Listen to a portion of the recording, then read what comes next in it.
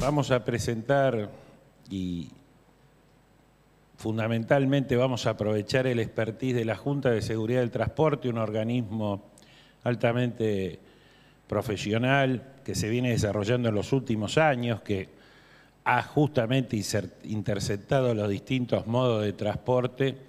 Y después trabajaremos seguramente en la presentación por parte de ellos eh, de algún caso más puntual y de lo que concierne a la conectividad y a la circulación de bienes, personas y móviles en, esta área. Bueno, bienvenido Tomás. Tomás Raspal es el representante de la Junta de Seguridad de Transporte, él nos lo va a presentar y luego el doctor Daniel Álvarez seguramente nos va a hacer una presentación más de características técnicas y académicas. Tomás, bienvenido al seminario. ¿Qué tal? Eh, ¿Cómo andan? Muchas gracias a los organizadores por la invitación. La segunda vez que la Junta participa eh, en este evento. Eh, para nosotros es muy importante darnos a conocer en estos espacios. Como dijo Juan Carlos, somos un organismo relativamente nuevo en la órbita de la gestión del transporte. Somos un organismo técnico que trabajamos eh, en pos de mejorar y contribuir a la seguridad del transporte en todos sus modos, en el modo ferroviario, en el modo aeronáutico, en el modo marítimo, fluvial y lacustre y en el modo automotor. Nos dedicamos principal, pero no exclusivamente, a la investigación de accidentes en cualquiera de los modos de transporte, desde un enfoque sistémico, buscando generar a partir de la investigación eh, recomendaciones de seguridad operacional, es decir, eh, contribuir a la investigación no de culpables, responsables, sino de causas y factores contribuyentes, con el objetivo de eh, contribuir al desarrollo de políticas públicas que hagan al transporte un transporte más seguro, como digo, en todos los modos. Eh, y bueno, eh, en, esta oportunidad la idea, no tenemos mucho tiempo, es presentar un ejemplo concreto de cómo es eh, nuestro trabajo en pos de contribuir a la seguridad operacional en el transporte. En este caso, lo que vamos a presentar, lo que va a presentar Daniel Álvarez, que fue el coordinador del equipo que trabajó en la investigación que condujimos junto con y para la Administración General de Puertos. Em, sobre el entorno portuario del puerto de Buenos Aires eh, con el objetivo que nos propusieron de generar recomendaciones para la eh, zona de apoyo portuario que tienen interés en desarrollar en el puerto de Buenos Aires. Así que, de vuelta, muchísimas gracias y le cedo la palabra a Daniel para que haga la presentación. Bueno, muchas gracias, buenas tardes a todos. Yo voy a pasar al PowerPoint para continuar con la ponencia.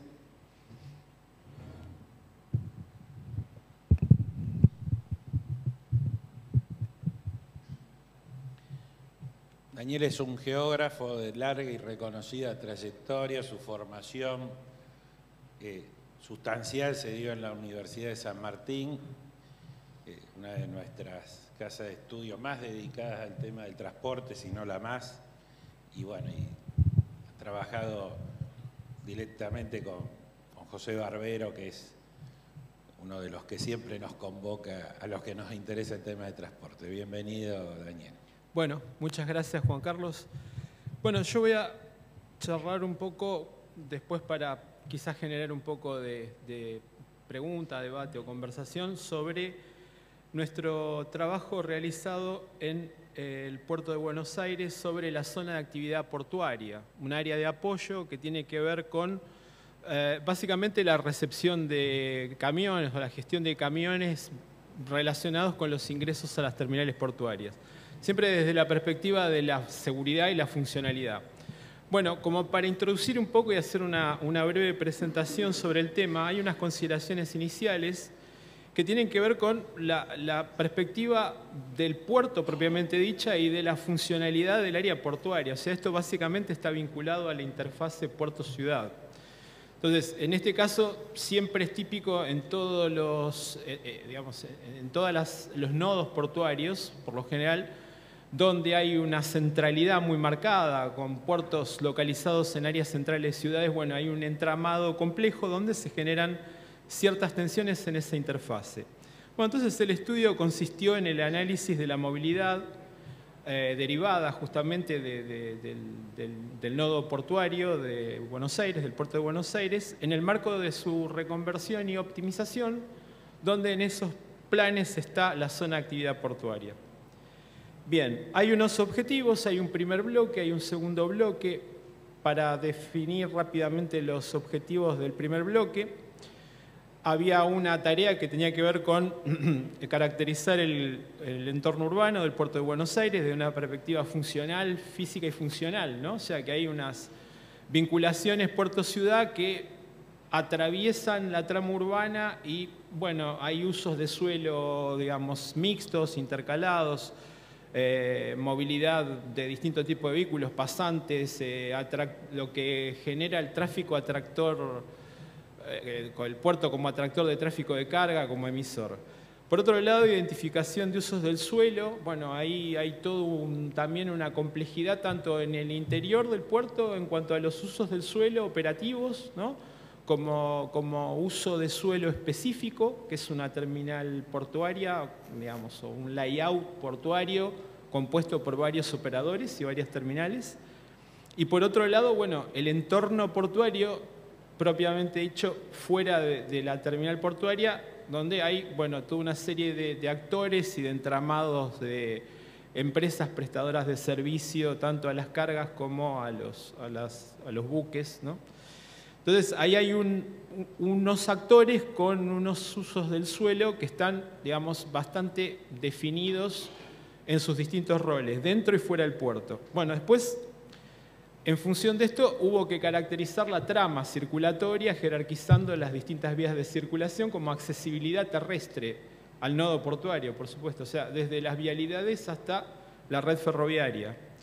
Por otro lado, eh, bueno, se hizo un poco de análisis a partir de algunos métodos cuantitativos, como por ejemplo la teoría de colas, como para ver hipotéticos escenarios de congestión.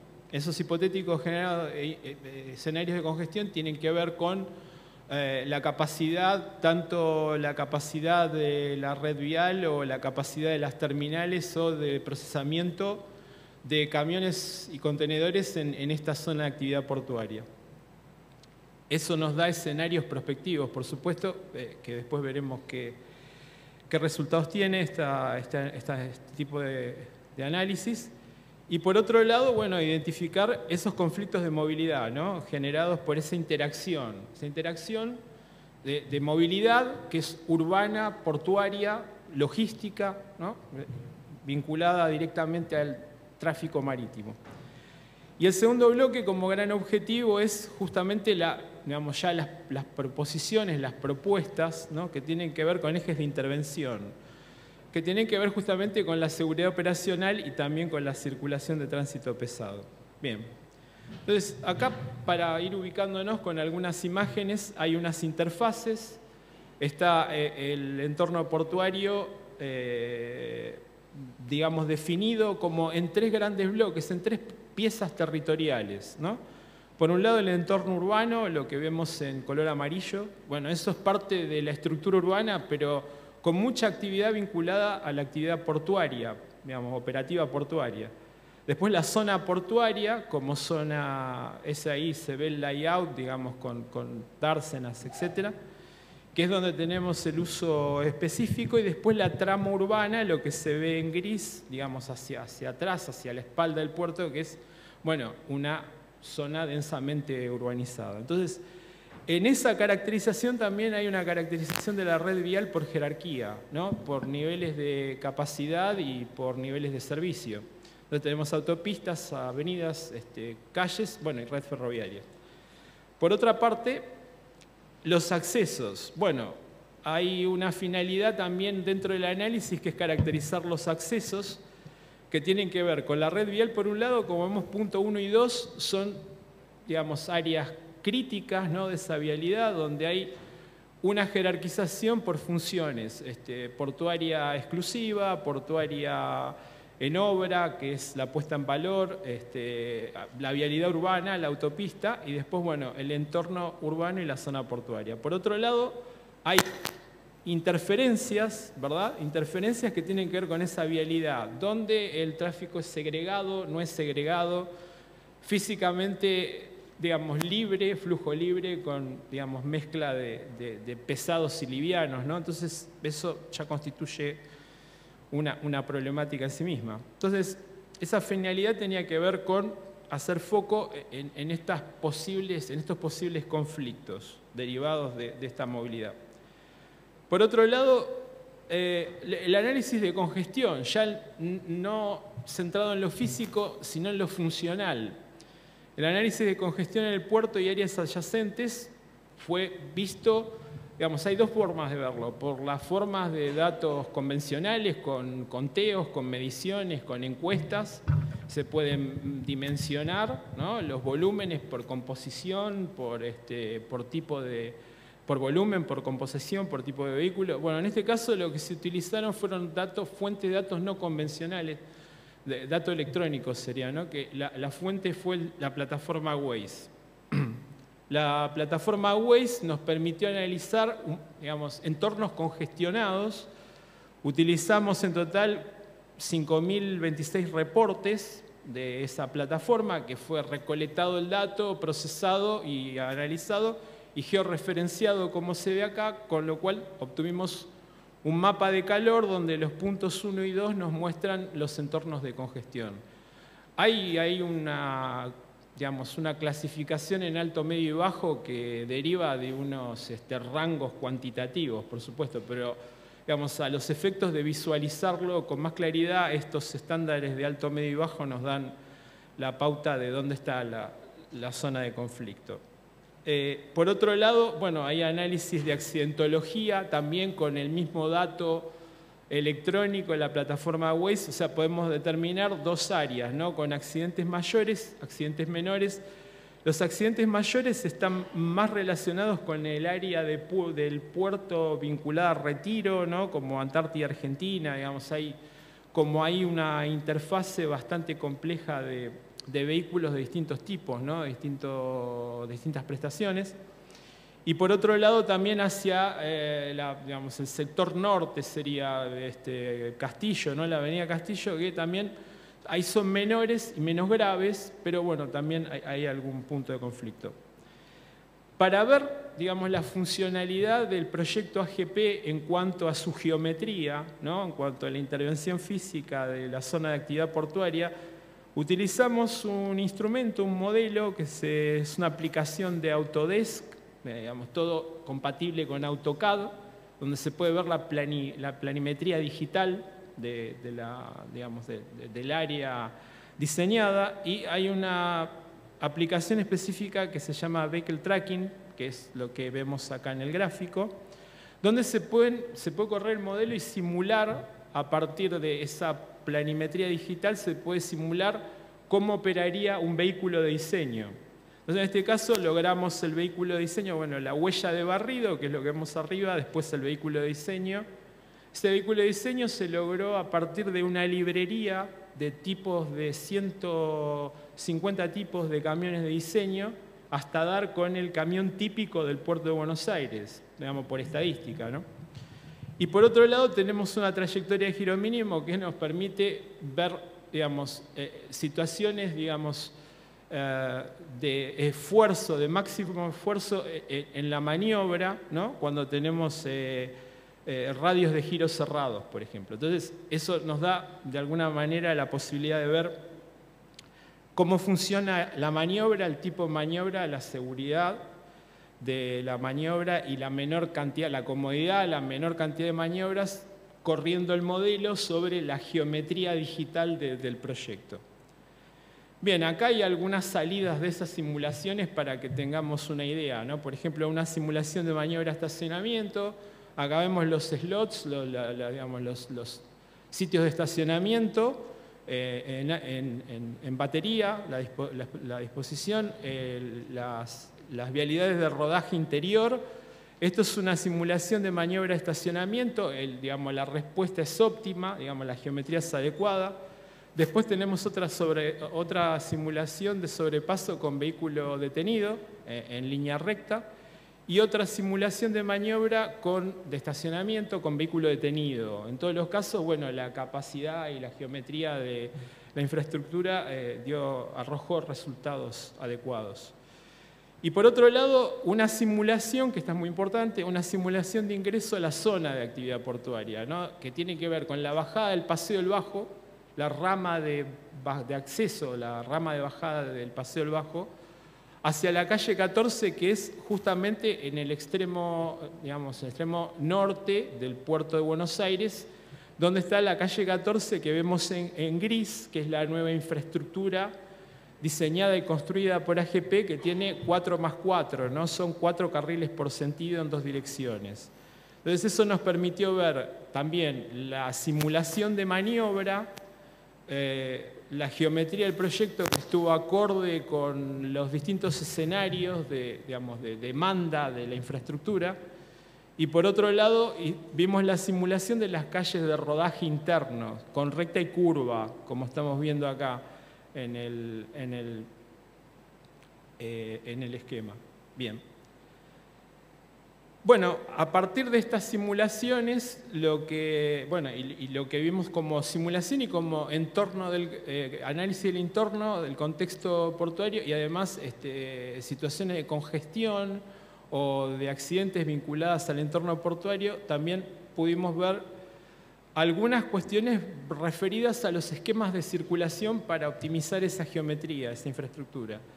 Entonces, también resultante de la modelización vemos el esquema de circulación en rojo, propuesto, lo que vemos arriba, eh, propuesto por el proyecto, tiene doble sentido en todo su, digamos, en todo su recorrido, en todo su enrutamiento, eh, y después tenemos una alternativa una alternativa posible con un escenario de tendencia a crecimiento en el volumen de TEUS, ¿no? o sea, en la cantidad de contenedores operados, o también puede ocurrir que con la tendencia al aumento del tamaño de los buques hubiera alguna operación que tenga mayor intensidad en menos tiempo, con lo cual hay que operar más cantidad de contenedores en menos tiempo, eso es más demandante y por supuesto se podría considerar una circulación, como se ve en azul, tomando un ingreso y un, y un egreso diferenciados, digamos, segregados. Entonces, en ese caso, digamos, se aumentaría la capacidad instalada de esa, de esa infraestructura, de esa oferta de infraestructura. Bueno, como recomendaciones de todo el análisis, eh, sería necesario realizar una simulación microscópica microscópica más en detalle tanto al interior del puerto como al entorno portuario. Eh, sería una de las recomendaciones para digamos, poder calibrar mejor el modelo aplicado. La siguiente es evaluar alternativas para el control temporal de, de los vehículos.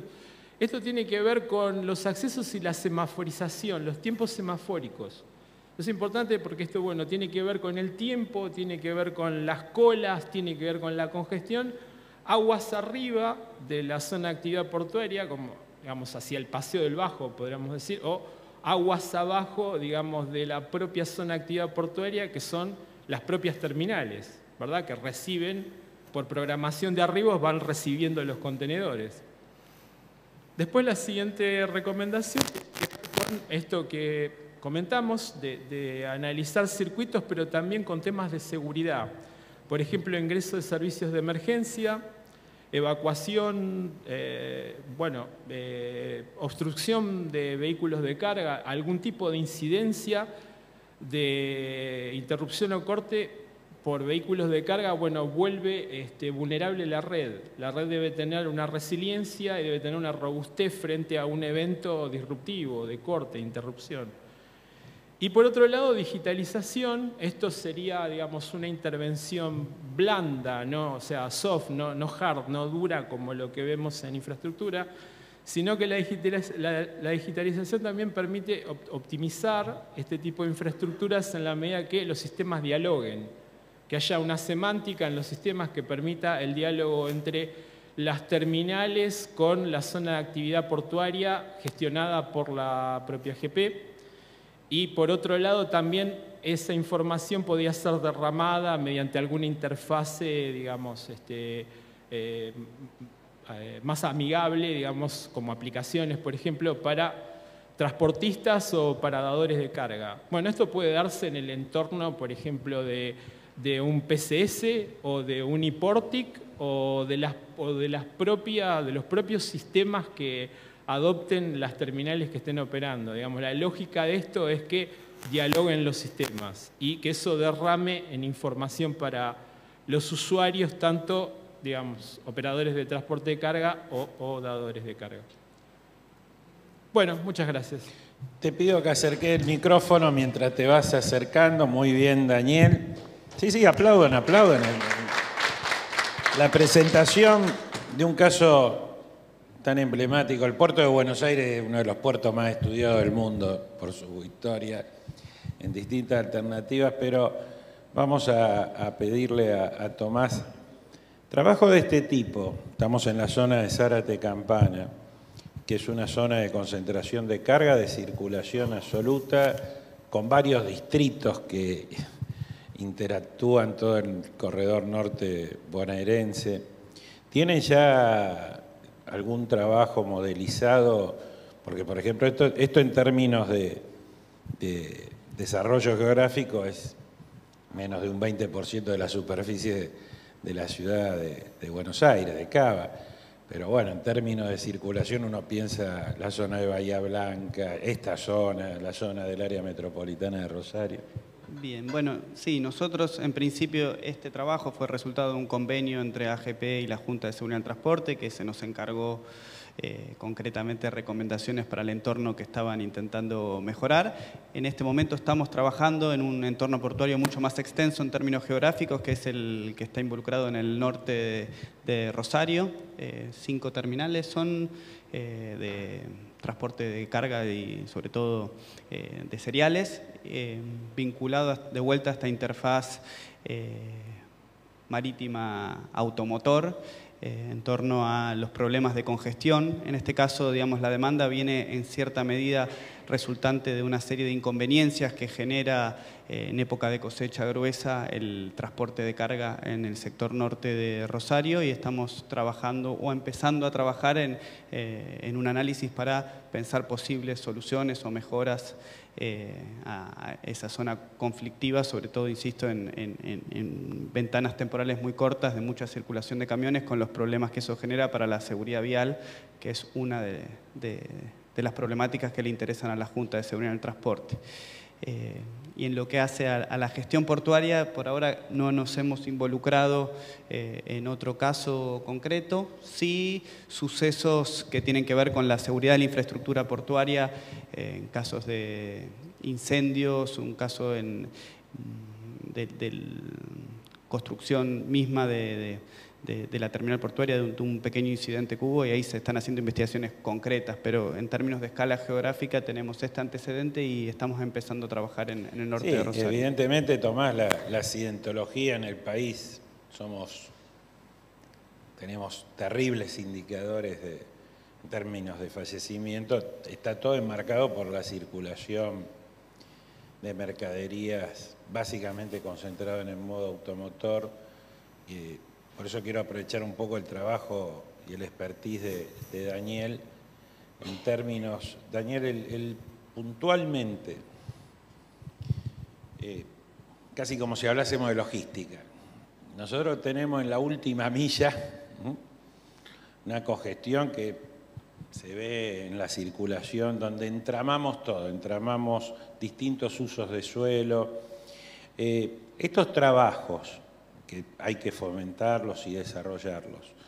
No necesitan a la vez una, una superposición con los actores locales con respecto a las normativas de uso de suelo. Nos pasa, hay sin números de, ejemplos. Entonces, ustedes están dando el ejemplo del Gran Rosario. Norte del Gran Rosario hoy concentra en la zona donde ellos están haciendo el trabajo un tercio del ingreso vehicular de cargas de todo ese sistema, que son más de 1.800.000 camiones, en una zona que hace 10 años, 10 años no circulaba un camión. Entonces piensen lo que es la seguridad, ya no la conectividad. Entonces por eso mi, apreciación, Daniel, aprovechando tu, formación de, geógrafo. Sí, no, claro, sin duda. el tema del digamos, ya partiendo de conceptos de interfase puerto-ciudad, está muy vinculado a la calificación de suelo. La calificación de suelo está dada por las distintas, las distintas instancias, eh, jurisdicciones. Por supuesto, eh, eh, en algunos casos intervienen autoridades locales o provinciales o nacionales. Pero siempre la, la, autoridad de aplicación en cuanto a los códigos de uso de suelo tiene que ver con gobiernos locales. ¿no? Y sí, siempre es importante tener previsiones para uso suelo logístico, que en definitiva, bueno, este, esta suerte de clúster o aglomeración logística, bueno, esto pasa acá en Zárate Campana, ¿no? Exactamente. Lo importante es centrarse en este ejemplo, hay que trabajarlo. O tenés que desarrollar esta conectividad, porque si no vas a generar cada vez más conflictividad y después vas a terminar teniendo que hacer un nuevo paseo del Bajo. Claro, claro. El de Zárate y Campana. Claro, efectivamente. O sea, e, en estos, digamos, la tendencia es que la, logística portuaria y marítima, bueno, se van integrando verticalmente, ¿verdad? O sea, navieras, operadores logísticos, prestadores de servicio. Y bueno, todo lo que es la última milla, pero en distintas escalas. Cuando hablamos de última milla hablamos de lo local, de lo regional y de lo nacional. O sea que estamos viendo eh, situaciones con, digamos, clústeres portuarios, ¿no? como el de Buenos Aires, Rosario, con, bueno, con una gran, digamos, eh, dinámica. Y por otro lado, lo que estamos viendo también es que eso requiere indispensablemente un ordenamiento del suelo. O sea, esas políticas de uso de suelo, esa política de ordenamiento territorial debe acompañar al desarrollo de ese clúster logístico que indefectiblemente se va a ir apalancando en la medida que la actividad logística crezca. Tomás, en el, en el trabajo cotidiano y en estos relevamientos, la circulación y las conectividades del transporte público de pasajeros, el desarrollo del transporte individual, el uso de otros medios, hasta atracción sangre, ¿cómo, cómo, cómo lo contemplaban en estos trabajos? Porque ahí también se superponía circulaciones de ese tipo. Bueno, la Junta es, como, como mencioné al principio, uno de los pocos organismos de investigación multimodal. La investigación, y dentro de los organismos de investigación multimodal a nivel internacional hay muy pocos que incluyen o involucran también la investigación de sucesos que involucran eh, transporte automotor. En gran medida por la complejidad que tiene el sistema de transporte automotor con relación al sistema ferroviario, el sistema aeronáutico e incluso el sistema fluvial marítimo lacustre, la, la apertura que tiene el sistema automotor, la cantidad de actores que intervienen, que participan como peatones, como ciclistas, como eh, motomensajeros, como grandes transportistas, grandes empresas, es, es muy complejo de administrar, de organizar y de aportar a la seguridad y bueno, lo que nosotros hacemos acá en, cierta medida se especializa y se, concentra en la investigación de sucesos que involucran transporte de cargas y de pasajeros y, con un foco muy fuerte en el transporte eh, automotor de pasajeros por la importancia que tiene para nuestro organismo contribuir a garantizar que el transporte de pasajeros eh, automotor se, lleva adelante de, manera cada vez más segura. Sí, sí, que su desarrollo sea sustentable y seguro. Bueno, muchísimas gracias Daniel, muchísimas gracias Tomás, a ambos dos. Eh, tenemos que darle continuidad al programa que hemos desarrollado, pero bueno, seguramente quienes estén interesados los convocarán y los llamarán. Muchísimas gracias por, eh, la oportunidad de participar. Para nosotros ya en este segundo año de, eh, trabajo de la Junta es importante no solo hacer como hacíamos en los primeros meses y años, de explicar cuáles son nuestras funciones, misiones y nuestros objetivos, sino también poder empezar a mostrar trabajos, producciones concretas que manifiesten de qué manera nosotros concretamente aportamos a, la seguridad en el transporte. Sí, sí, acá en la zona de Zárate Campana van a tener un, un caso testigo más que, que importante para desarrollar. Muchas gracias Álvarez, muchas gracias. Gracias a usted.